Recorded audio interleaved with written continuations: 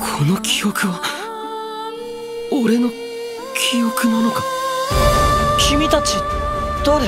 次に許可なく触れようとしたらその手を切り落とします。裕次郎君軽く稽古でもどうかな？まったく。仕方ないな。絶対に負けるなよ。右目が焼けるようです。力を貸してくれ。青バラの剣。俺たち二人の力でアリスを取り戻すんだ。私は人形ではない。ごめんアリス僕を追ってこないでくれ。私はメディナ・オルティナノス。